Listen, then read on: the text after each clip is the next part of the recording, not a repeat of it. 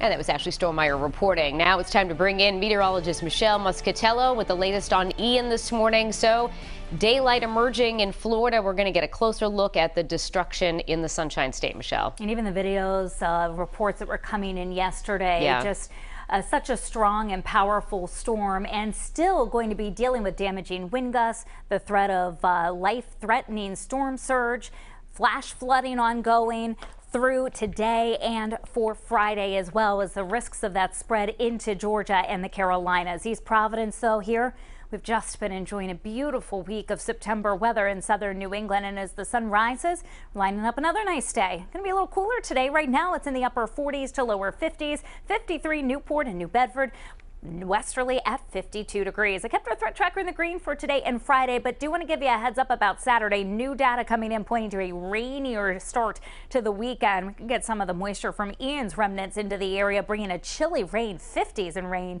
to southern New England for Saturday. Here's the latest on Ian. It's a tropical storm right now and expected to continue to bring some heavy rain.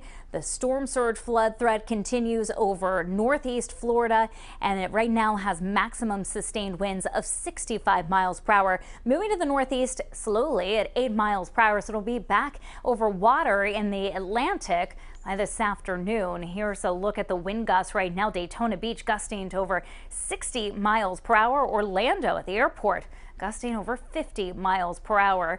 That storm again by 2 o'clock expected to be offshore.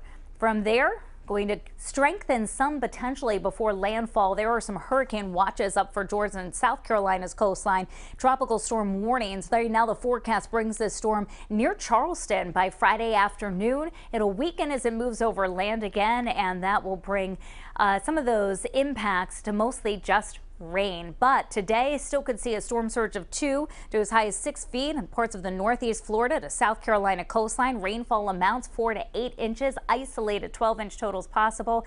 And there's tropical storm force winds expected from northeast Florida to southeast North Carolina.